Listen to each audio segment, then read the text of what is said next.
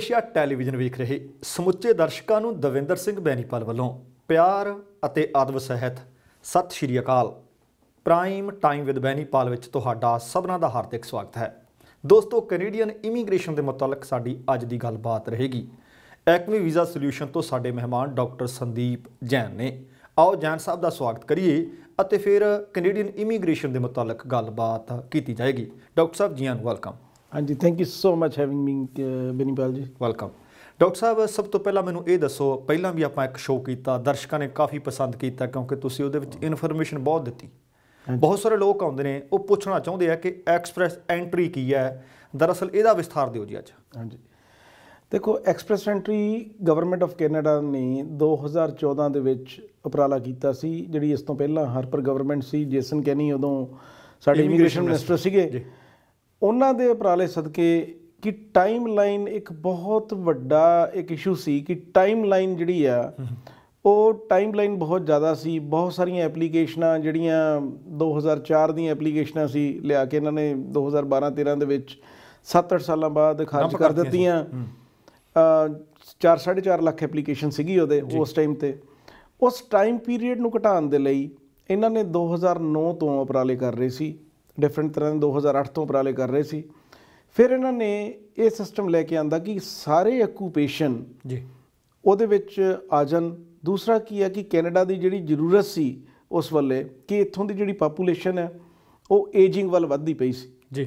ਵੱਧ ਰਹੀ ਹੈ ਅੱਜ ਵੀ। ਜੀ। ਇਹ ਮੁਲਕ ਦੀ ਜਿਹੜੀ ਹੋਂਦ ਹੈ ਨਿਊ ਇਮੀਗ੍ਰੈਂਟਸ ਦੇ ਉੱਪਰ ਹੈ। ਇਹ ਚਾਹੁੰਦੇ ਨੇ ਕਿ ਵੀ ਨਿਊ ਇਮੀਗ੍ਰੈਂਟ ਆਣ ਜਿਹੜੇ ਕੀ ਕੰਮ ਦੇ ਵਿੱਚ ਲੰਬਾ ਸਮਾਂ ਤੱਕ ਰਹਿ ਸਕਣ। ਜੀ। ਮਤਲਬ ਕਿ ਯੰਗ ਪਾਪੂਲੇਸ਼ਨ ਸੋ ਸਭ ਤੋਂ ਪਹਿਲਾਂ ਜਿਹੜਾ ਏਜ ਦੇ ਵਿੱਚ ਇਹਨਾਂ ਨੇ ਲੈ ਕੇ ਆਂਦਾ ਕਿ ਵੀ ਇਸ ਮੁਲਕ ਦੇ ਵਿੱਚ ਯੰਗ ਬੰਦੇ ਆਣ ਸੈਕੰਡ ਸੀ ਕਿ ਐਜੂਕੇਸ਼ਨ ਉਹ ਬੰਦੇ ਆਣ ਜਿਹੜੇ ਕਿ ਵੈਲ ਕੁਆਲੀਫਾਈਡ ਨੇ ਪੋਸਟ ਗ੍ਰੈਜੂਏਟ ਨੇ ਮਾਸਟਰ ਡਿਗਰੀ ਹੋਲਡਰ ਨੇ। ਥਰਡ ਜਿਹੜਾ ਇਹਨਾਂ ਦਾ ਮੇਨ ਚੀਜ਼ ਸੀਗੀ ਕਿ ਐਕਸਪੀਰੀਅੰਸ ਜਿਹੜਾ ਹੈਗਾ ਕੈਨੇਡੀਅਨ ਐਕਸਪੀਰੀਅੰਸ ਨੂੰ ਇਹਨਾਂ ਨੇ ਬਹੁਤ ਤਰਜੀਹ ਦਿੱਤੀ। ਉਹ ਬੰਦੇ ਪੱਕੇ ਕਰੋ ਜਿਹੜੇ ਬੰਦੇ ਕੈਨੇਡਾ ਦੇ ਵਿੱਚ ਨੇ ਚਾਹੇ ਉਹ ਸਟੂਡੈਂਟ ਦੇ ਤੌਰ ਤੇ ਆਏ ਨੇ ਇੱਥੇ ਕੋਈ ਵੀ ਉਹਨਾਂ ਨੇ ਸਕਿਲਡ ਕੰਮ ਕੀਤਾ ਜੀ। ਜਾਂ ਬੰਦੇ ਕੋਈ ਸਕਿਲਡ ਵਰਕਰ ਆਏ ਨੇ ਉਹ ਵਾਲੇ ਬੰਦਿਆਂ ਨੂੰ ਪੱਕਾ ਕੀਤਾ ਜਾਵੇ। ਐਕਸਪੀਰੀਅੰਸ ਨੂੰ ਕਾਫੀ ਜ਼ਿਆਦਾ ਇਨ ਕੈਨੇਡਾ ਐਕਸਪੀਰੀਅੰਸ ਨੂੰ ਕਾਫੀ ਜ਼ਿਆਦਾ ਤਰਜੀਹ ਦਿੱਤੀ। ਔਰ ਬਾਹਰਲੇ ਐਕਸਪੀਰੀਅੰਸ ਦੇ ਇਹਨਾਂ ਨੇ ਪੁਆਇੰਟ ਘਟਾਏ ਪਰ ਸਟਿਲ ਹਲੇ ਵੀ 3 ਤੋਂ 5 ਸਾਲ ਤੱਕ ਦਾ ਐਕਸਪੀਰੀਅੰਸ ਜਿਹੜਾ ਹੈਗਾ ਉਹ ਬੜਾ ਵਾਜਬ ਹੁੰਦਾ ਜੀ। ਫੋਰਥ ਜਿਹੜੀ ਚੀਜ਼ ਹੈ ਉਹ ਇਹ ਹੈ ਕਿ ਕੈਨੇਡਾ ਦੀ ਸਪੈਸਿਫਿਕ ਨੀਡ ਜਿਹੜੀ ਹੈ ਕਿ ਕਿਹੜੇ ਬੰਦੇ ਇੱਥੇ ਜਿਹੜੀ ਲੇਬਰ ਮਾਰਕੀਟ ਦੇ ਵਿੱਚ ਜਿਹੜੇ ਜਿਹੜੇ ਆਕੂਪੇਸ਼ਨ ਦੀ ਸ਼ੋਰਟੇਜ ਹੈ ਇੱਕ ਪਾਰਟਿਕੂਲਰ ਏਰੀਆਜ਼ ਦੇ ਵਿੱਚ ਅੱਛਾ ਜੀ। ਉਹਨਾਂ ਨੂੰ ਸਰਵਿਸ ਕੈਨੇਡਾ ਤੋਂ EMPLOYER ਆਪਣੀ ਐਕਸੈਸ ਕਰਵਾਉਂਦਾ ਆਪਣੀ ਜ਼ਰੂਰਤ ਨੂੰ। ਜੇ ਉਸ ਏਰੀਆ ਦੇ ਵਿੱਚ ਡਾਕੂਮੈਂਟ ਹੋ ਜਾਂਦੀ ਹੈਗੀ ਆ ਉਹਨਾਂ ਦੀ ਐਪਲੀਕੇਸ਼ਨ 'ਚ ਉਹਨਾਂ ਨੂੰ ਕੈਨੇਡੀਅਨ ਨਹੀਂ ਮਿਲਦੇ ਉਹ ਆਪਣਾ LMIA ਦੇ ਜ਼ਰੀਏ ਲੇਬਰ ਮਾਰਕੀਟ ਇੰਪੈਕਟ ਅਸੈਸਮੈਂਟ ਦੇ ਜ਼ਰੀਏ ਉਹ ਬੰਦੇ ਇੱਥੇ ਆ ਸਕਦੇ ਆ ਕੇ ਕੰਮ ਕਰ ਸਕਦੇ ਫਿਰ ਪੱਕੇ ਹੋ ਸਕਦੇ ਜਾਂ ਸਿੱਧੇ ਵੀ ਪੱਕੇ ਹੋ ਕੇ ਇੱਥੇ ਆ ਸਕਦੇ ਆ। ਤਾਂ ਕਹਿਣ ਦਾ ਮਤਲਬ ਕੀ ਹੈ ਕਿ EMPLOYER ਸਪੈਸਿਫਿਕ ਜਿਹੜੀ ਨੀਡ ਹੈ ਉਹ ਉਹਦੇ ਵਿੱਚ ਆ ਜਾਂਦੀ ਹੈ ਜੀ। ਠੀਕ ਹੈ? ਉਸ ਤੋਂ ਇਲਾਵਾ ਜਿਹੜੇ ਹੋਰ ਅਡੈਪਟੇਬਿਲਟੀ ਫੈਕਟਰ ਨੇ ਜਿਸ ਬੱਚੇ ਨੇ ਕੋਈ ਬੱਚਾ ਇੱਥੇ ਆ ਕੇ ਪੜ੍ਹਾਈ ਕੀਤੀ ਹੈ ਜਾਂ ਜਿਹਨੇ ਕੰਮ ਕੀਤਾ ਜਿਵੇਂ ਪਹਿਲਾਂ ਉਹਦੇ ਐਡੀਸ਼ਨਲ ਪੁਆਇੰਟ ਸੀਗੇ। ਸੋ ਇਸ ਕਰਕੇ ਇਹ ਸਾਰੇ ਜਿਹੜੇ ਪੰਜ ਫੈਕਟਰ ਨੇ ਇਹਨਾਂ ਦੇ ਵਿੱਚ 600 ਪੁਆਇੰਟ ਇਹਦੇ ਉੱਪਰ ਨਿਰਧਾਰਿਤ ਕੀਤਾ ਉਹਨਾਂ ਨੇ ਐਕਸਪ੍ਰੈਸ ਐਂਟਰੀ 'ਚ। ਅੱਛਾ ਜੀ। ਉਸ ਤੋਂ ਬਾਅਦ ਉਹਨਾਂ ਨੇ ਇੱਕ ਚੀਜ਼ ਇਹ ਕੀਤੀ ਕਿ ਵੀ ਜਿਹੜੀਆਂ ਪ੍ਰੋਵਿੰਸਸ ਨੇ 10 ਪ੍ਰੋਵਿੰਸ ਆਪਣੀਆਂ ਤੇ ਤਿੰਨ ਟੈਰੀਟਰੀ ਨੇ ਜਿਹੜੀਆਂ ਕੈਨੇਡਾ ਦੀਆਂ ਜੀ। ਉਹਨਾਂ ਦਾ province wise under the federal provincial agreement arrangement ਇਹਨਾਂ ਨੇ ਹਰ ਸਟੇਟ ਦਾ ਕੋਟਾ ਮਿੱਥ ਦਿੱਤਾ ਕਿ ਤੁਹਾਨੂੰ ਕਿਸ ਤਰ੍ਹਾਂ ਦੇ ਬੰਦੇ ਚਾਹੀਦੇ ਨੇ। ਕਿਹੜੀਆਂ ਲੋੜਾਂ ਕਿਹੜੀਆਂ ਲੋੜਾਂ ਤੁਹਾਡੀਆਂ ਹੈਗੀਆਂ ਨੇ? ਆਪਣੀਆਂ ਲੋੜਾਂ ਮੁਤਾਬਕ ਬੰਦੇ ਤੁਸੀਂ ਨੋਮੀਨੇਟ ਕਰ ਲਓ? ਅੱਛਾ। ਜਿਹੜੇ ਬੰਦੇ ਤੁਸੀਂ ਆਪਣੀ ਪ੍ਰੋਵਿੰਸ ਦੀ ਲੋੜ ਦੇ ਮੁਤਾਬਕ ਲੈ ਕੇ ਆਣਾ ਚਾਹੁੰਦੇ ਆ ਉਹਨਾਂ ਨੂੰ ਪੱਕਿਆਂ ਕੀਤਾ ਜਾਣਾ। ਅੱਛਾ। ਸੋ ਉਹਦੇ ਜਿਹੜੇ ਪ੍ਰੋਵਿੰਸ਼ੀਅਲ ਨੋਮੀਨੇਸ਼ਨ ਦੇ ਵਿੱਚ 600 ਪੁਆਇੰਟ ਹੋਰ ਜ਼ਿਆਦਾ ਤੋਂ ਟੋਟਲ ਐਕਸਪ੍ਰੈਸ ਐਂਟਰੀ ਦੇ ਵਿੱਚ 1200 ਪੁਆਇੰਟ ਇਹ ਇੱਕ ਆਨਲਾਈਨ ਸਿਸਟਮ ਹੈ ਜਿਹਦੇ ਵਿੱਚ ਇੱਕ ਪੋਰਟਲ ਦੇ ਵਿੱਚ ਦੁਨੀਆ ਭਰ ਤੋਂ ਹਜ਼ਾਰਾਂ ਐਪਲੀਕੇਸ਼ਨਾਂ ਜਿਹੜੀਆਂ ਹੈਗੀਆਂ ਤਕਰੀਬਨ ਇਸ ਵੇਲੇ 70000 ਦੇ ਕਰੀਬ ਐਪਲੀਕੇਸ਼ਨ ਹੈ। ਉਹ ਐਪਲੀਕੇਸ਼ਨ ਅਸੀਂ ਇੱਕ ਦੂਸਰੇ ਦੇ ਅਗੇਂਸਟ ਫਾਈਟ ਕਰਦੇ ਹਾਂ।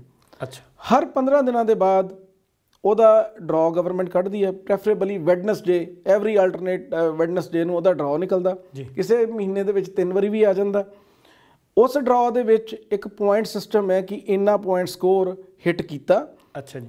ਉਸ ਪੁਆਇੰਟ ਦੇ ਵਿੱਚ ਉਸ ਪੁਆਇੰਟ ਤੱਕ ਜਾਂ ਉਸ ਤੋਂ ਵਧੇਰੇ ਜਿੰਨੇ ਵੀ ਕੈਂਡੀਡੇਟ ਹੁੰਦੇ ਨੇ ਉਹਨਾਂ ਦੀਆਂ ਐਪਲੀਕੇਸ਼ਨਾਂ ਨੂੰ ਜਿਹੜਾ ਹੈਗਾ ਇਨਵੀਟੇਸ਼ਨ ਟੂ ਅਪਲਾਈ ਆ ਜਾਂਦਾ ਤੇ ਫਿਰ ਅੱਗੇ ਐਪਲੀਕੇਸ਼ਨ ਤੁਰਦੀ ਹੈ ਜੀ। ਸੋ ਆ ਐਕਸਪ੍ਰੈਸ ਐਂਟਰੀ ਹੈ ਜੀ। ਅੱਛਾ ਕਿੰਨੇ ਕੁ ਪੁਆਇੰਟ ਤੱਕ ਜੇ ਆਪਾਂ ਰੀਸੈਂਟਲੀ ਵੇਖੀਏ ਪਿਛਲੇ 1-2 ਹਫ਼ਤਿਆਂ ਜਾਂ ਮਹੀਨਿਆਂ ਦੀ ਗੱਲ ਕਰੀਏ ਇਹ ਹੇਠਾਂ ਨੂੰ ਜਾ ਰਿਹਾ ਸਕੋਰ ਜਾਂ ਉੱਪਰ ਨੂੰ ਜਾ ਰਿਹਾ ਜੀ? ਬਹੁਤ ਤੁਸੀਂ ਹੈਰਾਨ ਹੋਵੋਗੇ ਜੀ। ਕਿ ਆ ਇਸ ਵੈਡਨਸਡੇ ਨੂੰ ਅੱਜ ਅਸੀਂ ਥਰਸਡੇ ਰਾਦਰ ਕੱਲ ਨੂੰ ਜੀ। ਜਿਹੜਾ ਡਰਾਅ ਆਇਆ ਅੱਜ ਤੱਕ ਦਾ ਕਾਫੀ ਜ਼ਿਆਦਾ ਹਾਈ ਡਰਾ ਆਇਆ। ਅੱਛਾ। 470 ਪੁਆਇੰਟਸ ਦੇ ਉੱਪਰ ਡਰਾ ਨਿਕਲਿਆ।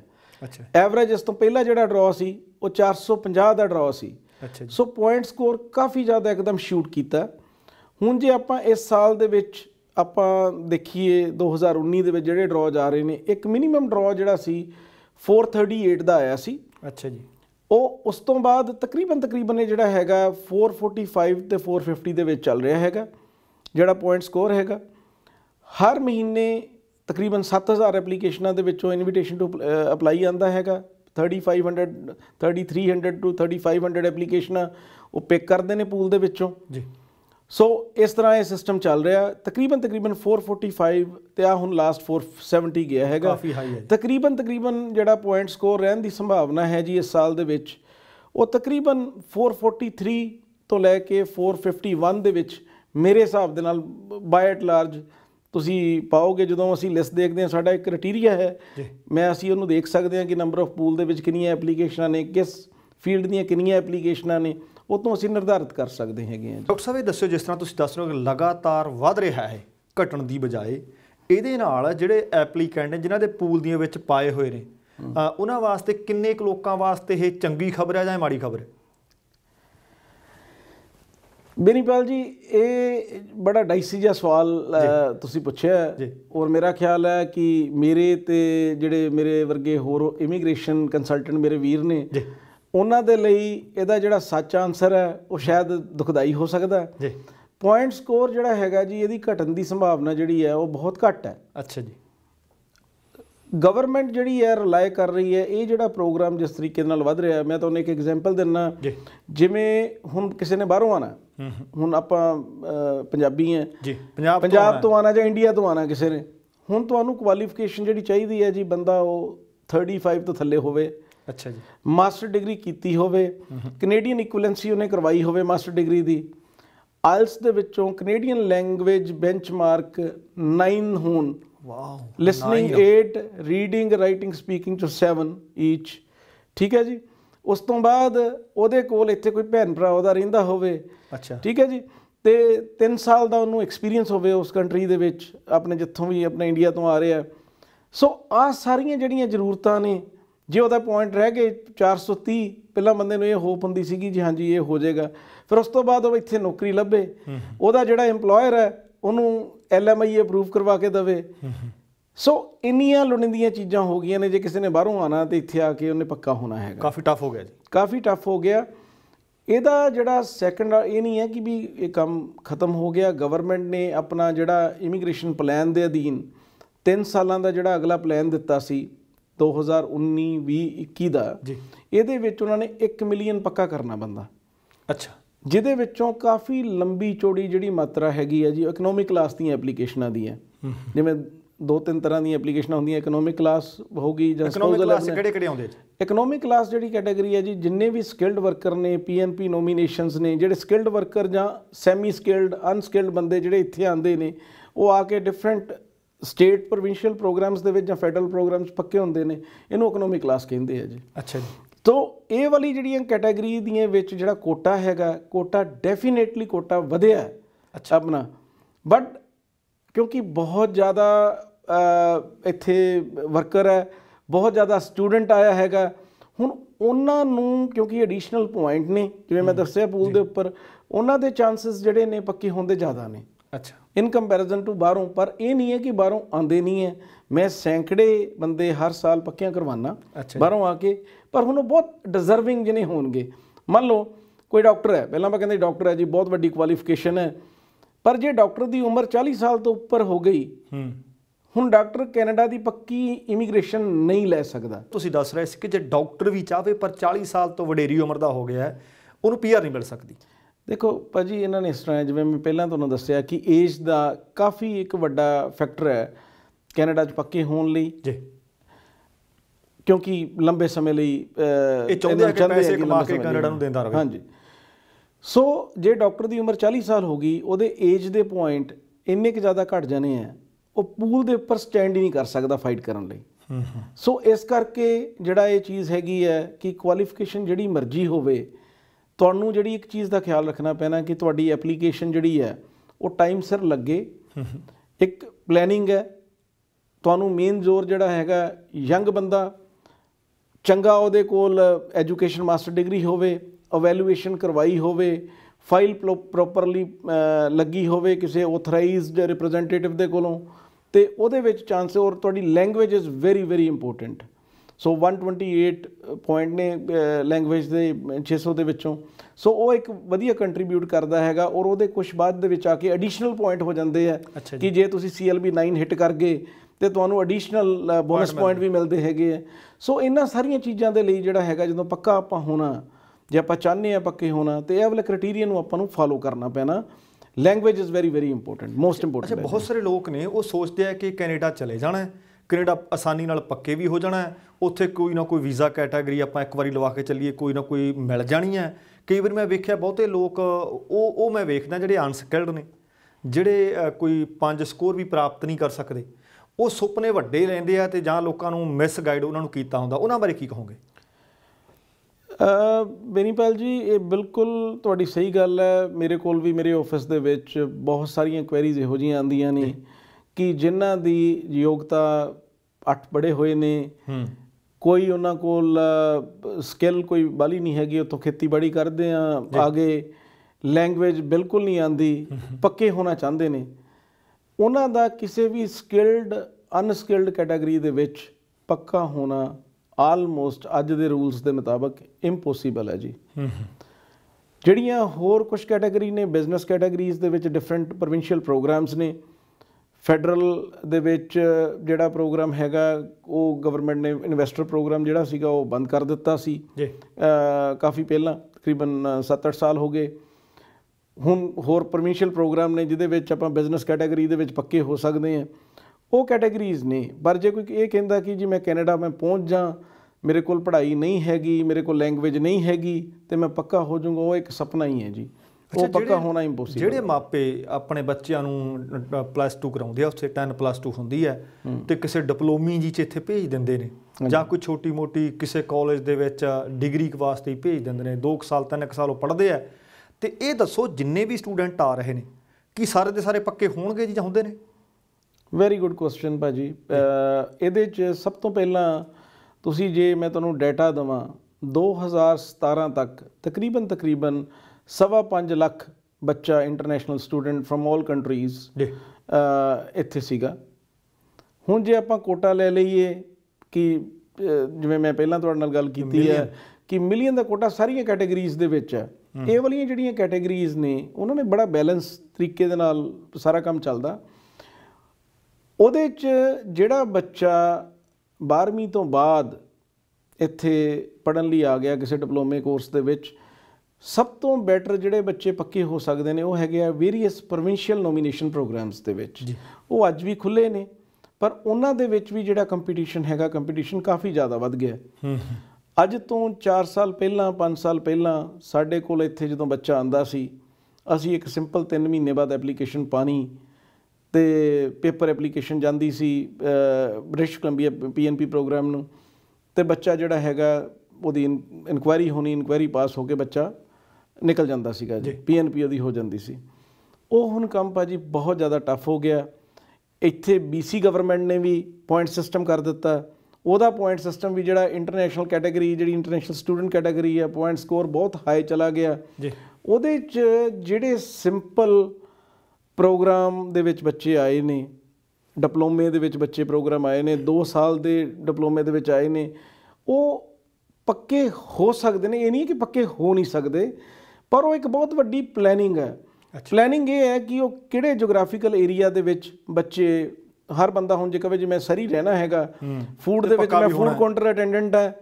ਮੈਂ ਮੈਂ ਫੂਡ ਕਾਊਂਟਰ ਅਟੈਂਡੈਂਟ ਦੀ ਮੈਂ ਜੌਬ ਕਰ ਰਿਹਾ 버ਗਰ ਕਿੰਗ ਤੇ ਤੇ ਜਿਹਦੀ ਵੇਜ ਜਿਹੜੀ ਹੈਗੀ ਆ ਉਹ ਮਿਨੀਮਮ ਵੇਜ ਹੈ ਤੇ ਮੈਂ ਪੱਕਾ ਹੋ ਜਾ।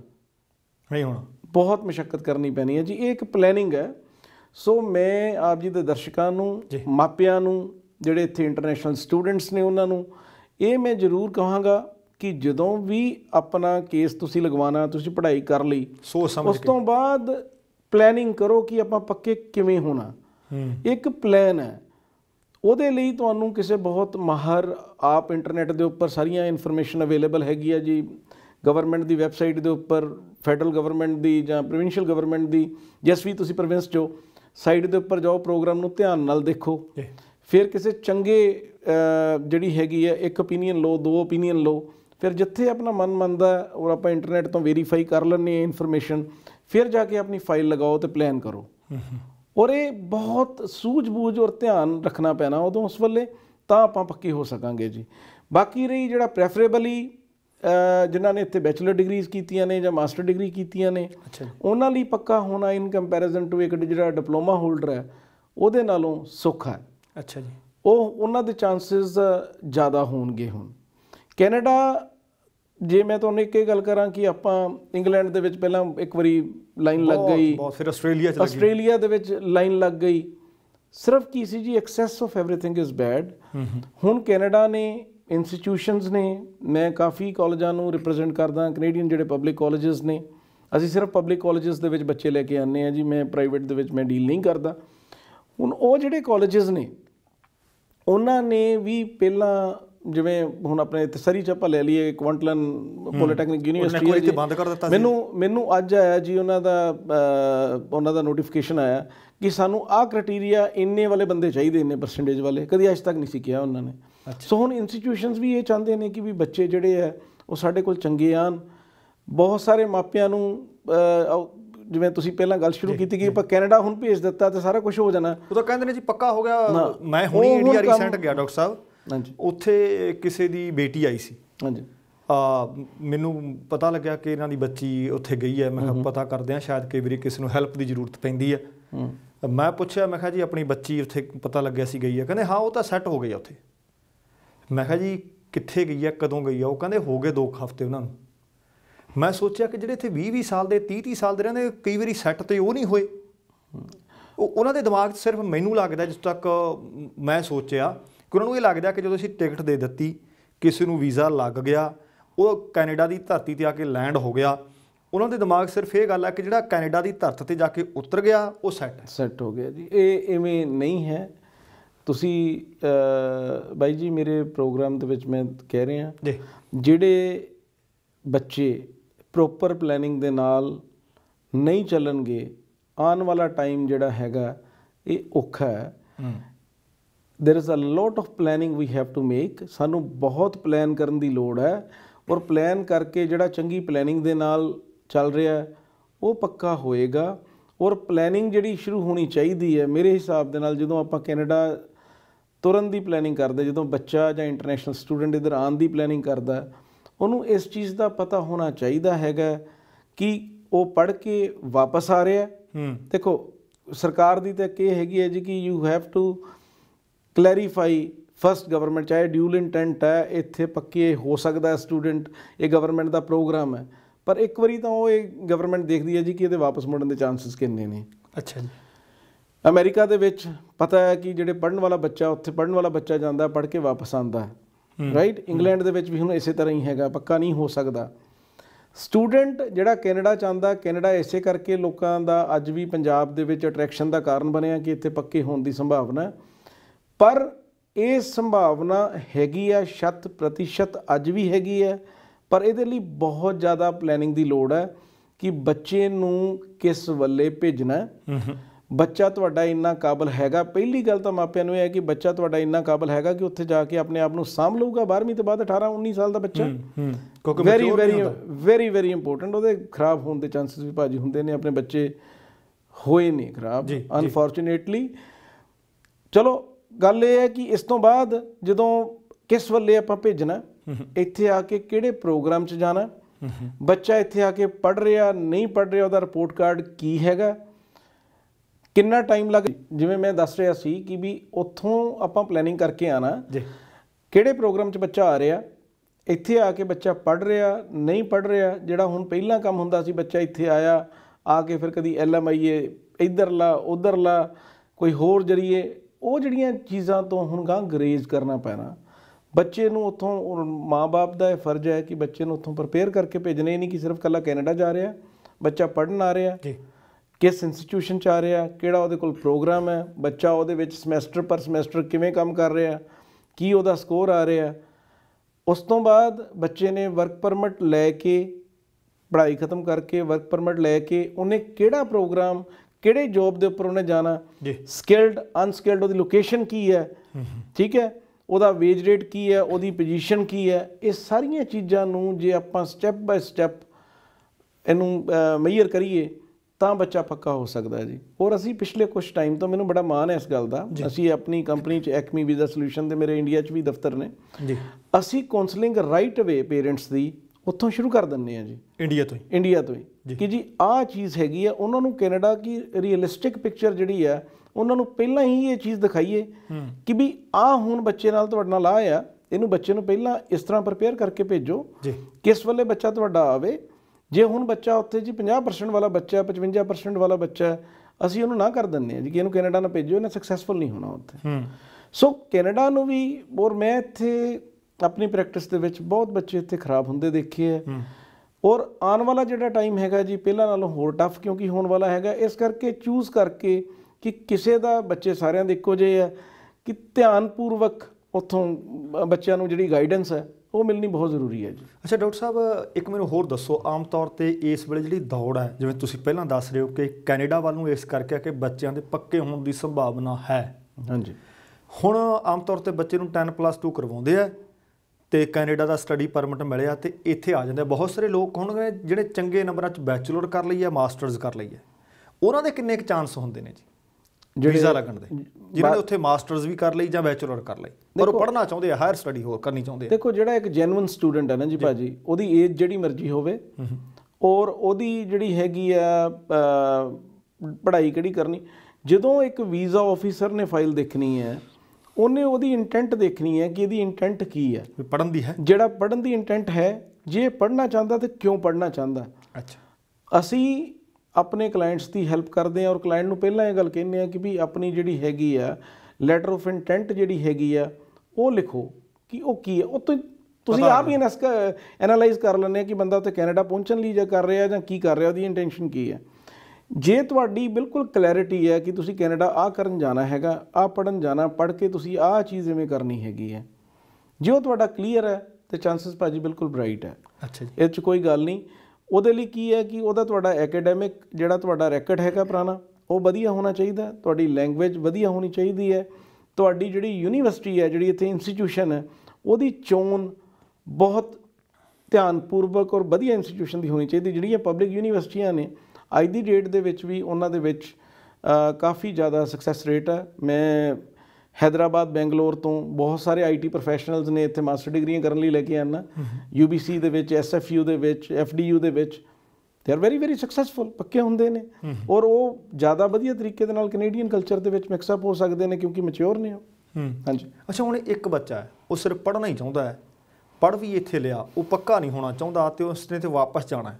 ਹਾਂਜੀ। ਪਰ ਬਹੁਤ ਸਾਰੇ ਬੱਚੇ ਇਹ ਨੇ ਜਿਸ ਤਰ੍ਹਾਂ ਤੁਸੀਂ ਦੱਸ ਰਹੇ ਹੋ ਕਿ ਉਹਨਾਂ ਦੀ ਇੰਟੈਂਸ਼ਨ ਕੁਝ ਹੋਰ ਹੈ। ਜਿਸ ਤਰ੍ਹਾਂ ਬੀਤੇ ਦਿਨੀ ਇੱਕ ਬੱਚਾ ਫੜਿਆ ਉਹ ਟਰੱਕ ਚਲਾਉਂਦਾ ਸੀ। ਹਾਂਜੀ। ਹੁਣ ਉਸ ਤੋਂ ਬਾਅਦ ਕਈਆਂ ਥਾਵਾਂ ਤੇ ਰੈਲੀਆਂ ਜਾਂ ਮੁਜ਼ਾਹਰੇ ਕੀਤੇ ਆ ਜੀ ਸਟੂਡੈਂਟਸ ਨੇ ਕਿ ਸਾਨੂੰ ਜੀ ਬਾਕੀਆਂ ਦੇ ਬਰਾਬਰ ਦੇ ਹੱਕ ਮਿਲਣੇ ਜ਼ਰੂਰੀ ਨੇ। ਜੀ ਇਹ ਜਿੱਥੇ ਮਰਜ਼ੀ ਕੰਮ ਕਰਨ ਸਾਨੂੰ ਕਿਉਂ? ਸਾਨੂੰ ਸਿਰਫ 20 ਘੰਟੇ ਕਿਉਂ? ਇਹ ਦੱਸੋ ਕਿ ਇਹ ਹੱਕ ਜਿਹੜੀ ਜਿਹੜੀਆਂ ਰੈਲੀਆਂ ਜਾਂ ਰੋਸ ਮੁਜ਼ਾਹਰੇ ਹੋਏ ਨੇ ਕਿ ਜਿਹੜੇ ਉਹਨਾਂ ਦਾ ਸਟੱਡੀ ਪਰਮਿਟ ਹੈ ਉਹਦੇ ਤੇ ਕੋਈ ਮੱਦ ਲਿਖੀ ਹੁੰਦੀ ਹੈ ਜਾਂ ਉਹ ਉਹ ਜੋ ਕਹਿ ਰਹੇ ਨੇ ਉਹ ਸਹੀ ਕਹਿ ਰਹੇ ਨੇ ਜੀ?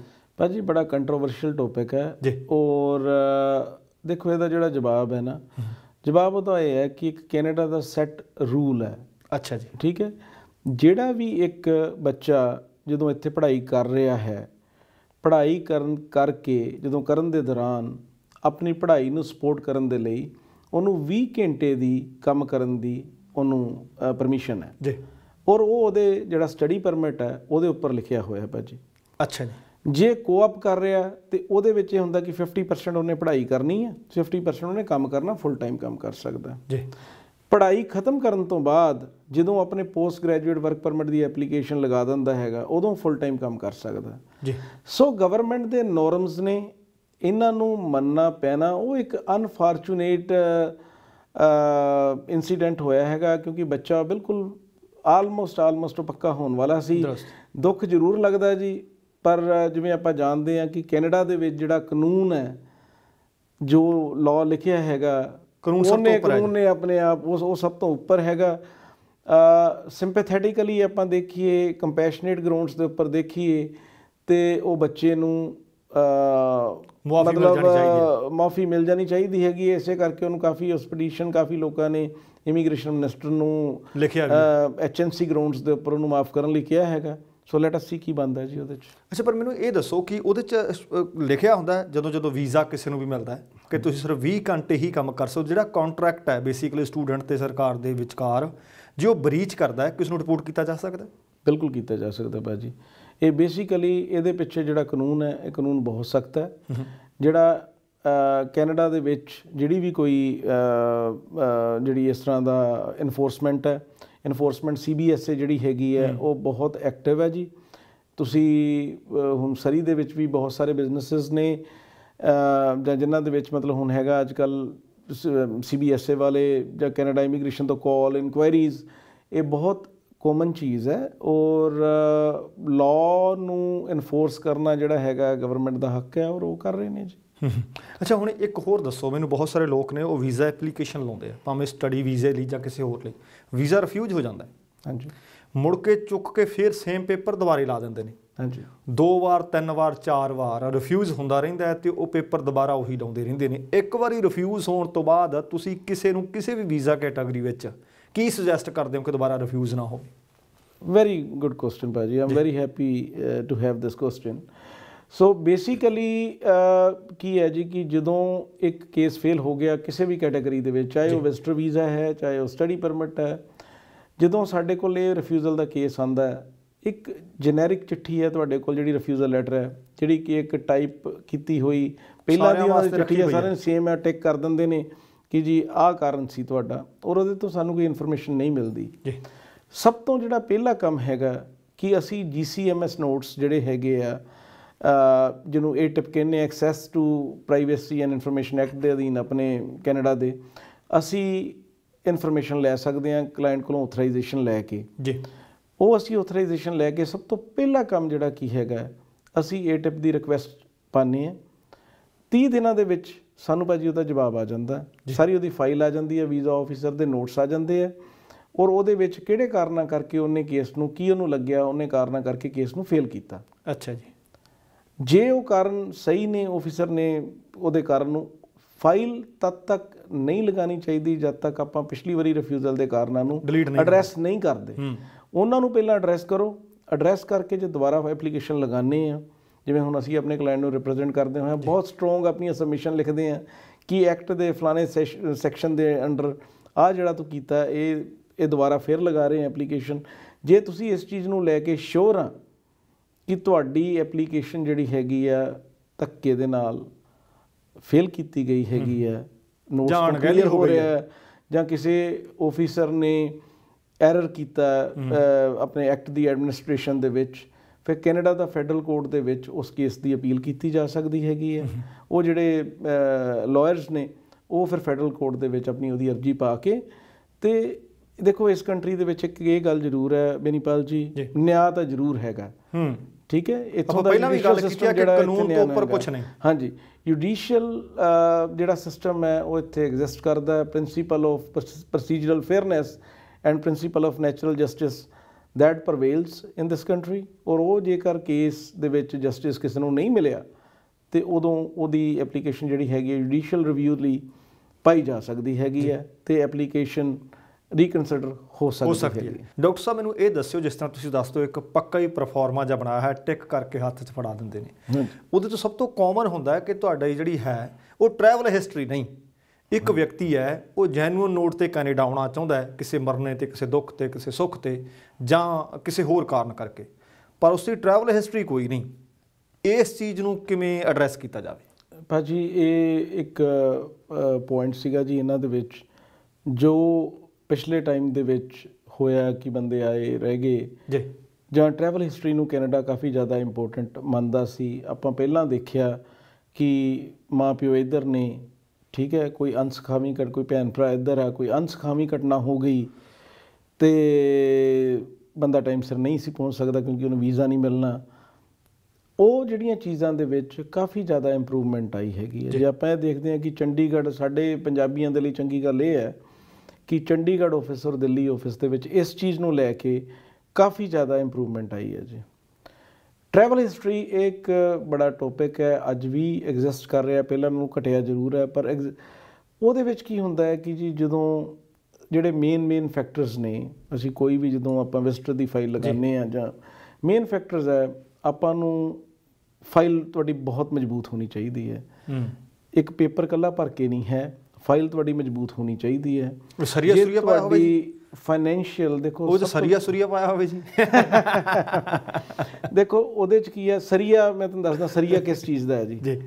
ਉਹਦੀਆਂ ਜੜਾਂ ਕਿੰਨੀਆਂ ਮਜ਼ਬੂਤ ਨੇ। ਜਦੋਂ ਆਫੀਸਰ ਨੇ ਦੇਖਣਾ ਕਿ ਉਹਦੀ ਫਾਈਨੈਂਸ਼ੀਅਲ ਸਟੇਬਿਲਿਟੀ ਕਿੰਨੀ ਆ ਹੂੰ ਬੰਦਾ ਉੱਥੇ ਕੋਈ ਬਿਜ਼ਨਸ ਕਰ ਰਿਹਾ ਜਾਂ ਜਿਹੜਾ ਵੀ ਕਿੱਤਾ ਰੋਜ਼ਗਾਰ ਕਰ ਰਿਹਾ ਜਾਂ ਜੋਬ ਕਰ ਰਿਹਾ ਕੀ ਉੱਥੇ ਉਹ ਸੈਟਲਡ ਹੈ? ਫਾਈਨੈਂਸ਼ੀਅਲ ਸਟੇਬਿਲਿਟੀ ਨੰਬਰ 2 ਕਿ ਉਹਨੇ ਉਹਦੀ ਫੈਮਿਲੀ ਕੀ ਹੈ ਫੈਮਿਲੀ ਟਾਈਜ਼ ਕੀ ਹੈ। ਸੋ ਫਾਈਨੈਂਸ਼ੀਅਲ ਟਾਈ ਤੇ ਫੈਮਿਲੀ ਟਾਈਜ਼ ਜਿਹੜੀਆਂ ਨੇ ਇਹ ਬਹੁਤ ਇੰਪੋਰਟੈਂਟ ਨੇ। ਜੇ ਤੁਸੀਂ ਹੁਣ ਇੱਕ ਗੱਲ ਹੈ ਜੀ ਬੰਦਾ ਕਦੀ ਸਿੰਗਾਪੁਰ ਜਾਂ ਦੁਬਈ ਤਾਂ ਗਿਆ ਨਹੀਂ। ਕੈਨੇਡਾ ਘੁੰਮਣਾ ਬੰਦਾ ਕਹਿੰਦਾ ਜੀ ਕਿ ਮੇਰੀ ਕੋਈ ਰਿਸ਼ਤੇਦਾਰੀ ਵੀ ਕੋਈ ਨਹੀਂ ਮੈਂ ਹੋਟਲ ਦੀ ਬੁਕਿੰਗ ਕਰਵਾਈ ਹੈ ਤੇ ਮੈਂ ਕੈਨੇਡਾ ਆਣਾ ਚਾਹਨਾ ਅੱਛਾ। ਤੇ ਬੰਦਾ ਉੱਥੇ ਫਾਰਮਰ ਹੈ ਠੀਕ ਹੈ? ਤੇ ਹੁਣ ਉਹਦਾ ਬੰਦੇ ਦਾ ਤੁਸੀਂ ਔਰ ਆਈਟੀਆਰ ਕੋਈ ਨਹੀਂ ਹੈ ਇਨਕਮ ਟੈਕਸ ਉਹਦੀ ਰਿਟਰਨ ਕੋਈ ਨਹੀਂ ਨਾਲ ਫਾਈਲ ਦੇ ਵਿੱਚ ਲੱਗੀ। ਤੇ ਡਾਕੂਮੈਂਟ ਕੋਈ ਹੋਰ ਪ੍ਰੋਪਰ ਹੈ ਨਹੀਂ ਫਾਈਨੈਂਸ਼ੀਅਲ ਕੋਈ ਉਹਦੀ ਸਟੇਬਿਲਿਟੀ ਨਹੀਂ ਸਿੱਧਾ ਆਣਾ ਚਾਹੁੰਦਾ। ਘੁੰਮ ਕੇ ਪੰਜਾਬ ਵੀ ਨਹੀਂ ਦੇਖਿਆ ਸਾਰਾ। ਤੇ ਉਹ ਤੁਸੀਂ ਇਹ ਦੇਖੋ ਕਿ ਵੀ ਉਹ ਜੇ ਵੀਜ਼ਾ ਕਰਦਾ ਹੈ ਤੇ ਲਾਈਕਲੀਹੁੱਡ ਉਹਦੀ ਫੇਲਿਅਰ ਦੀ ਬਹੁਤ ਜ਼ਿਆਦਾ ਹੈ ਭਾਜੀ। ਜਿਹੜਾ ਚੰਡੀਗੜ੍ਹ ਆਫਿਸ ਹੈ ਇਹ ਆਲਰੇਡੀ ਬਹੁਤ ਜ਼ਿਆਦਾ ਬਿਜ਼ੀ ਆਫਿਸ ਹੈ। ਜੀ। ਤੁਸੀਂ ਕਿਤੇ ਵੀਐਫਐਸ ਆਫਿਸ ਚਾਹੇ ਚੰਡੀਗੜ੍ਹ ਚਲੇ ਜਾਓ ਜਿੱਥੇ ਫਾਈਲਾਂ ਜਮ੍ਹਾਂ ਹੁੰਦੀਆਂ ਨੇ ਚਾਹੇ ਜਲੰਧਰ ਚਲੇ ਜਾਓ ਲਾਈਨਾਂ ਲੱਗੀਆਂ ਨੇ। ਅੱਜ ਹੁਣ ਬਾਇਓਮੈਟ੍ਰਿਕ ਹੁੰਦੇ ਆ ਮਹੀਨਾ ਮਹੀਨਾ ਵਾਰੀ ਨਹੀਂ ਆਂਦੀ ਬਾਇਓਮੈਟ੍ਰਿਕ ਦੀ। ਉਹਦਾ ਮੇਨ ਕਾਰਨ ਕੀ ਹੈ ਕਿ ਐਪਲੀਕੇਸ਼ਨਸ ਬਹੁਤ ਜ਼ਿਆਦੀਆਂ ਨੇ। ਤੇ ਜਿਹੜੇ ਨੰਬਰ ਆਫ ਵੀਜ਼ਾ ਆਫੀਸਰਸ ਨੇ ਦਿੱਲੀ ਜਾਂ ਚੰਡੀਗੜ੍ਹ ਦੇ ਵਿੱਚ ਉਹ ਘੱਟ ਨੇ। ਇੱਕ ਆਫੀਸਰ ਦੇ ਕੋਲ ਫਾਈਲ ਦੇਖਣ ਦੇ ਲਈ ਬਹੁਤ ਥੋੜਾ ਸਮਾਂ। ਜਿਹੜੇ ਜਿਹੜੇ ਪੁਆਇੰਟ ਉਹ ਦੇਖਣਾ ਚਾਹੁੰਦਾ ਹੈ ਜੇ ਉਹਨੂੰ ਫਾਈਲ ਦੇ ਵਿੱਚ ਨਜ਼ਰ ਆ ਗਏ ਉਹਨੇ ਵੀਜ਼ਾ ਦੇ ਦੇਣਾ। ਜੇ ਪੁਆਇੰਟ ਉਹਨੂੰ ਉਹ ਨਜ਼ਰ ਨਾ ਆਏ ਉਹਨੇ ਵੀਜ਼ਾ ਫੇਲ ਕਰ ਦੇਣਾ। ਠੀਕ ਹੈ? ਪਰ ਜੇ ਕੋਈ ਚੰਗਾ ਕੇਸ ਹੈ ਕਿਸੇ ਵੇਲੇ ਐਰਰ ਦੇ ਨਾਲ ਫੇਲ ਹੋ ਜਾਂਦਾ ਹੈਗਾ ਜੇ ਤੁਸੀਂ ਇਸ਼ੂਜ਼ ਨੂੰ ਪ੍ਰੋਪਰਲੀ ਐਡਰੈਸ ਦੁਬਾਰਾ ਕਰਦੇ ਆ ਅਸੀਂ ਰੂਟੀਨ ਦੇ ਵਿੱਚ ਭਾਜੀ ਕਾਫੀ ਜ਼ਿਆਦਾ ਜਿਹੜੇ ਕੇਸਿਸ ਨੇ ਅਸੀਂ ਇੱਕ ਵਾਰੀ ਜਿਹੜੇ ਕੇਸਿਸ ਫੇਲ ਹੋਏ ਸਾਡੇ ਕੋਲ ਆਉਂਦੇ ਨੇ। ਦੁਬਾਰਾ ਜੇ ਉਹਦੀ ਐਪਲੀਕੇਸ਼ਨ ਅਸੀਂ ਸਭ ਤੋਂ ਪਹਿਲਾ ਕੰਮ ਜਿਵੇਂ ਮੈਂ ਦੱਸਿਆ। ਕਿ ਉਹਦੇ ਏਟਿਪ ਕਢਵਾ ਕੇ ਜੀਸੀਐਮਐਸ ਨੋਟਸ ਕਢਵਾ ਕੇ ਉਹਨੂੰ ਪੜਿਆ ਉਹ ਵਾਲੇ ਇਸ਼ੂਜ਼ ਨੂੰ ਐਡਰੈਸ ਕੀਤਾ ਨਾਲ ਆਪਣੀ ਸਟਰੋਂਗ ਸਬਮਿਸ਼ਨ ਲਗਾਈ ਤੇ ਫਿਰ ਫਾਈਲ ਕੀਤੀ। ਬਹੁਤ ਸਾਰੇ ਕੇਸਾਂ ਨੂੰ ਚ ਵੀਜ਼ਾ ਮਿਲਦਾ ਭਾਜੀ। ਡਾਕਟਰ ਸਾਹਿਬ ਹੁਣ ਨੈਨੀ ਬਾਰੇ ਦੱਸੋ ਜੀ। ਇਹ ਕੇਅਰ ਗਿਵਰ ਜਾਂ ਨੈਨੀ ਜਿਸ ਨੂੰ ਆਪਾਂ ਕਹਿੰਦੇ ਆ ਪਹਿਲਾਂ ਲਿਵ ਇਨ ਕੇਅਰ ਗਿਵਰ ਵੀ ਕਿਹਾ ਕਰਦੇ ਸੀ। ਇਹਦੇ ਵਿੱਚ ਕੋਈ ਤਬਦੀਲੀ ਹੋਈ ਹੈ ਜੀ ਕਾਨੂੰਨ 'ਚ? ਜਾਂ ਹੋਣ ਵਾਲੀ ਹੈ? ਤਬਦੀਲੀ ਹੋਈ ਹੈ ਭਾਜੀ। ਜੀ। ਇੱਕ ਤਾਂ ਇਹਨਾਂ ਨੇ ਐਂਟਰਮ ਪਾਥਵੇ ਪ੍ਰੋਗਰਾਮ ਕੀਤਾ ਹੈ ਗਵਰਨਮੈਂਟ ਨੈਨੀਜ਼ ਨੂੰ। ਨੈਨੀਜ਼ ਦੇ ਲਈ ਇਹ ਬੂਮਿੰਗ ਟਾਈਮ ਹੈ ਜੀ। ਇਸ ਵੇਲੇ? ਇਸ ਵੇਲੇ ਜੀ। ਅੱਛਾ ਜੀ। ਜਿਹੜੀਆਂ ਨੈਨੀ ਪਿਛਲੇ 1 ਸਾਲ ਜਾਂ 1 ਸਾਲ ਤੋਂ ਵਧੇਰੇ ਬੜੀ ਵੱਡੀ ਪ੍ਰੋਬਲਮ ਸੀ 올ਡ ਕ੍ਰਾਈਟੇਰੀਆ ਦੇ ਵਿੱਚ 2 ਸਾਲ ਕੰਮ ਪਹਿਲਾਂ ਕਰਕੇ ਜਾਂ 1950 ਘੰਟੇ ਕੰਮ ਕਰਕੇ ਫਿਰ ਇਹਨਾਂ ਨੂੰ ਮਤਲਬ ਜਿਹੜਾ ਹੈਗਾ ਆਪਣਾ ਲੈਂਗੁਏਜ ਨੂੰ ਡੈਮੋਨਸਟ੍ਰੇਟ ਕਰਕੇ ਸਭ ਤਾਂ ਪੱਕੇ ਹੁੰਦੇ ਸੀ ਤਾਂ ਪੱਕੀ ਐਪਲੀਕੇਸ਼ਨ ਪੈਂਦੀ ਸੀ। 2 ਸਾਲ ਦਾ ਪਰਮਿਟ ਹੁੰਦਾ ਜੀ। ਜੀ। ਦੁਬਾਰਾ ਫੇਰ ਪਰਮਿਟ EMPLOYER ਨੂੰ ਅਹ ਜਿਹੜੀ ਸੀਗੀ ਅਨਯੂਜੂਅਲ ਹਾਰਡਸ਼ਿਪ ਕਰਨੀ ਪੈਂਦੀ ਸੀ ਦੁਬਾਰਾ ਤੋਂ ਫੇਰ ਸਾਰਾ ਪ੍ਰੋਸੈਸ ਜਾਣ ਦੇ ਵਿੱਚ। ਗਵਰਨਮੈਂਟ ਨੇ 2 ਮਹੀਨੇ ਦੇ ਲਈ ਇਹ ਪਿਛਲੇ ਮਾਰਚ ਤੋਂ ਲੈ ਕੇ 4 ਜੂਨ ਨੂੰ ਖਤਮ ਹੋ ਰਿਹਾ ਜੀ। ਨੈਨੀਆਂ ਦੇ ਲਈ ਇੱਕ ਸਪੈਸ਼ਲ ਪ੍ਰੋਗਰਾਮ ਲੈ ਕੇ ਆਏ ਉਹ ਕਿ? ਜਿਹਨੂੰ 1 ਸਾਲ ਤੋਂ ਤੁਸੀਂ ਕੈਨੇਡਾ ਦੇ ਵਿੱਚ ਕੰਮ ਕਰ ਰਹੇ ਆ ਐਜ਼ ਅ ਨੈਨੀ ਠੀਕ ਹੈ? ਚਾਹੇ ਉਹ ਹਾਈ ਮੈਡੀਕਲ ਨੀਡ ਕੇਸ ਦੇ ਵਿੱਚ ਚਾਹੇ ਤੁਸੀਂ ਬੱਚਿਆਂ ਦੀ ਦੇਖਭਾਲ ਦੇ ਵਿੱਚ ਕਰ ਰਹੇ ਆ ਤੇ ਤੁਹਾਡੇ ਕੋਲ ਤੁਹਾਡਾ EMPLOYER ਤੁਹਾਨੂੰ ਸਪੋਰਟ ਕਰਦਾ ਤੁਹਾਡੀ ਕਨਫਰਮੇਸ਼ਨ ਹੈ EMPLOYMENT ਦੀ। ਤੁਸੀਂ ਪੋਸਟ ਸੈਕੰਡਰੀ ਡਿਪਲੋਮਾ ਕੀਤਾ ਹੋਇਆ। ਜੀ। ਉਹਦੀ ਜਿਹੜੀ ਕੈਨੇਡੀਅਨ ਇਕੁਇਵਲੈਂਸੀ ਹੈ ਜਾਂ ਤੁਹਾਡੇ ਕੋਲ ਹੈ ਜਾਂ ਤੁਸੀਂ ਅਪਲਾਈ ਕੀਤੀ ਹੋਈ ਹੈ। ਉਹਨਾਂ ਨੂੰ ਪਤਾ ਸੀ ਇਹਨੂੰ ਟਾਈਮ ਲੱਗ ਰਿਹਾ ਹੈਗਾ। ਅੱਛਾ ਉਹਨਾਂ ਨੇ ਅਪਲਾਈ ਕੀਤੀ ਪਾਇਲਟ। ਪ੍ਰੋਜੈਕਟ ਕੱਢਿਆ ਜੀ ਇਹਨਾਂ ਨੇ ਬਹੁਤ ਤੇਜ਼ੀ ਦੇ ਨਾਲ। ਅੱਛਾ। ਕਿ ਜੇ ਤੁਸੀਂ ਅਪਲਾਈ ਕੀਤਾ ਉਹਦਾ ਪ੍ਰੂਫ ਨਾਲ ਆਇਲਸ ਦਾ ਪ੍ਰੂਫ ਨਾਲ ਅੱਛਾ ਜੀ। ਉਹ ਜੇ ਕੀਤਾ ਕਰਕੇ ਤੁਸੀਂ ਆਪਣੀ ਫਾਈਲ ਲਗਾਓ ਬਹੁਤ ਜਲਦੀ ਪੀਆਰ ਹੋ ਜਾਣੀ ਹੈ ਜੀ। ਔਰ ਅਸੀਂ ਇਸ ਦੌਰਾਨ ਪਿਛਲੇ ਕੁਝ ਟਾਈਮ ਤੋਂ ਲਾਈਨ ਲੱਗੀ ਹੋਈ ਸੀ ਇੰਨੀਆਂ ਨੈਨੀਆਂ ਸੀ ਇੱਥੇ ਜਿਨ੍ਹਾਂ ਦੀਆਂ ਪੱਕੀਆਂ ਹੋੜ ਅੱਛਾ ਦੇ ਨਾਲ ਤੁਸੀਂ ਦੱਸ ਦਿਓ ਕਿ ਜਿਹਨਾਂ ਨੂੰ 1 ਸਾਲ ਕੰਮ ਕਰਦਿਆਂ ਨੂੰ ਹੋ। ਚੁੱਕਾ ਹੈ। ਹਾਂਜੀ। ਜੇ ਮੰਨ ਲਓ ਕੋਈ ਮਾਰਚ ਤੋਂ ਹੀ April ਤੋਂ ਹੀ ਇਸੇ ਸਾਲ ਤੋਂ ਹੀ। ਐਜ ਅ ਨੈਨੀ ਦੇ ਤੌਰ ਤੇ ਉਸਨੇ ਕੰਮ ਕਰਨਾ ਸ਼ੁਰੂ ਕੀਤਾ। ਉਹਦੇ ਵਾਸਤੇ ਕਿਹੜੇ ਕਾਨੂੰਨ ਦੇਖੋ ਜਿਹੜੇ ਹੁਣ ਨਵੇਂ ਇੱਕ ਜਿਹੜਾ ਆ ਰਿਹਾ ਇੱਕ ਨਵੰਬਰ ਦੇ ਇੱਕ ਹੋਰ ਪ੍ਰੋਗਰਾਮ ਆ ਰਿਹਾ ਜਿਹਦੇ ਵਿੱਚ ਨੈਨੀ ਦੀ ਅਸੈਸਮੈਂਟ ਜਦੋਂ ਹੈਗੀ ਹੈ ਆਉਣ ਤੋਂ ਪਹਿਲਾਂ ਐਪਲੀਕੇਸ਼ਨ ਤੋਂ ਪਹਿਲਾਂ ਹੀ ਉਹਦੀ ਹੋ ਜਾਣੀ ਹੈ ਕਿ ਇਹਨੂੰ ਪੀਆਰ ਮਿਲਣੀ ਕਿ ਨਹੀਂ ਮਿਲਣੀ ਡਿਊਲ ਇੰਟੈਂਟ ਦੇ ਨਾਲ ਨੈਨੀ ਨੇ ਇੱਥੇ ਆਣਾ ਅੱਛਾ। ਉਹਦੀ ਫੈਮਿਲੀ ਉਹਦੇ ਵਿੱਚ ਨਾਲ ਆ ਸਕਦੀ ਹੈ। ਉਹਦੇ ਜੇ ਮੈਰਿਡ ਹੈ ਤੇ ਉਹਨੂੰ ਓਪਨ ਵਰਕ ਪਰਮਿਟ ਮਿਲ ਜਾਣਾ ਜੀ। ਹੂੰ। ਠੀਕ ਹੈ?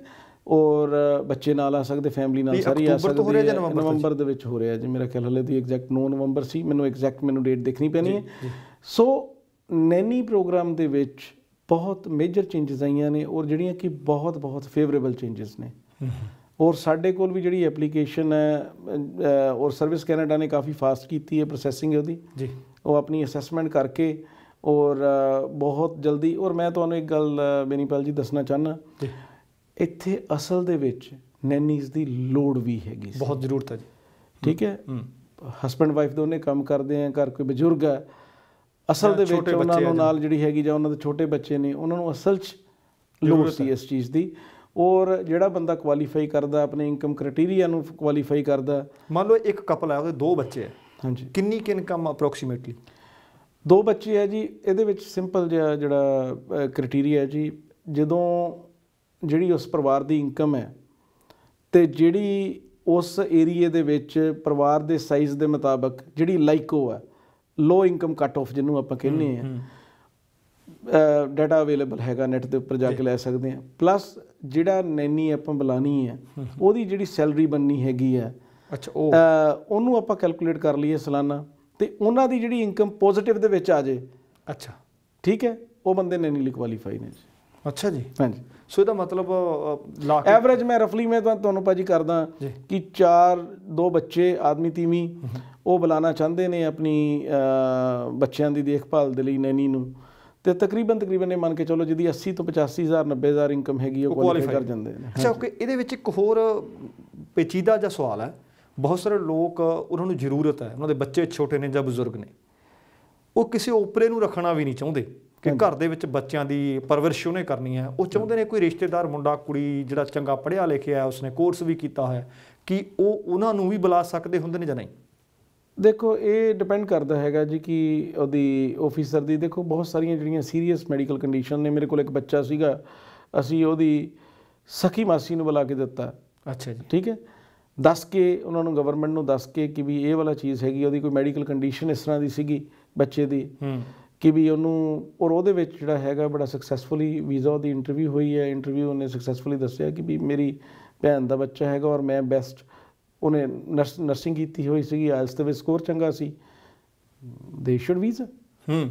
ਹਾਂਜੀ। ਸੋ ਇਸ ਤਰ੍ਹਾਂ ਦਾ ਕੋਈ ਹਰਡਲ ਨਹੀਂ? ਡਿਪੈਂਡ ਕਰਦਾ ਹੈਗਾ ਹਰਡਲ ਡਿਪੈਂਡ ਕਰਦਾ ਹੈ ਜੀ। ਦੇਖੋ ਇੱਕ ਜਿਹੜੀ ਜਦੋਂ ਆਫੀਸਰ ਨੇ ਅਸੈਸ ਕਰਨੀ ਹੈ ਉਹਨੇ ਅਸੈਸ ਕਰਨੀ ਹੈ ਕਿ ਇਹ ਬੰਦਾ ਕੱਢਣ ਦਾ ਤਰੀਕਾ ਹੈ ਜਾਂ ਅਸਲ 'ਚ ਲੋੜ ਹੈਗੀ ਹੈ। ਪਰ ਉੱਥੇ ਇਨਕਮ ਵੀ ਪ੍ਰੋਪਰ ਹੈ। ਬੱਚਾ ਵੀ ਬੱਚੇ ਵੀ ਛੋਟੇ ਨੇ ਜਾਂ ਬਜ਼ੁਰਗ ਵੱਡੇ ਨੇ ਉਹਦੇ ਕੋਲ ਤੁਸੀਂ ਦੱਸ ਰਹੇ ਹੋ ਕਿ ਪ੍ਰੋਪਰ ਉੱਥੋਂ ਦਾ ਕੋਰਸ ਵੀ ਹੈ ਆਰਟਸ ਸਕੋਰ ਵੀ ਹੈ ਕਿ ਫਿਰ ਵੀ ਕਈ ਵਾਰੀ ਡਿਨਾਈਲ ਹੋ ਜਾਂਦੀ ਇੰਟਰਵਿਊ ਦੇ ਵਿੱਚ ਜਿਹੜਾ ਹੈਗਾ ਜੀ ਜਦੋਂ ਐਗਜ਼ਾਮਿਨ ਕਰਦੇ ਨੇ ਉਹਦੇ ਵਿੱਚ ਇੰਟਰਵਿਊ ਦੇ ਵਿੱਚ ਬਹੁਤ ਸਾਰੇ ਕੇਸਿਸ ਦੇ ਵਿੱਚ ਹੁੰਦੀ ਹੈ। ਉਦੋਂ ਕਾਫੀ ਜ਼ਿਆਦਾ ਉਹਦੇ ਵਿੱਚ ਜਿਹੜਾ ਹੈਗਾ ਉਹ ਸਕਰੀਨਿੰਗ ਦੇ ਵਿੱਚ ਫੜ ਲੈਂਦੇ ਨੇ ਜੀ ਉਸ ਕੇਸ ਦੇ ਵਿੱਚ।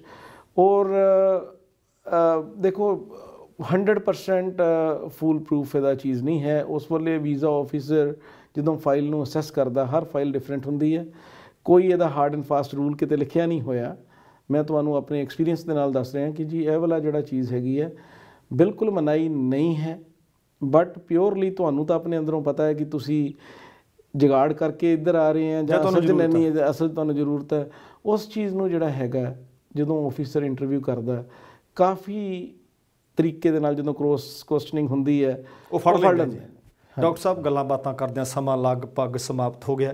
ਪ੍ਰੋਗਰਾਮ ਵਿੱਚ ਸ਼ਾਮਲ ਹੋਣ ਵਾਸਤੇ ਤੁਹਾਡਾ ਤਹਿ ਦਿਲੋਂ ਧੰਨਵਾਦ। ਫਿਰ ਕਿਸ ਦਿਨ ਕੋਸ਼ਿਸ਼ ਰਹੇਗੀ ਕਿ ਤੁਹਾਡੀਆਂ ਸੇਵਾਵਾਂ ਲਈਆਂ ਜਾਣ। ਸਤਿ ਸ਼੍ਰੀ ਅਕਾਲ ਹਾਂਜੀ ਸਤਿ ਸ਼੍ਰੀ ਅਕਾਲ ਜੀ ਸਤਿ ਸ਼੍ਰੀ ਦੋਸਤੋ ਇਹ ਸਨ doctor Sandeep Jain.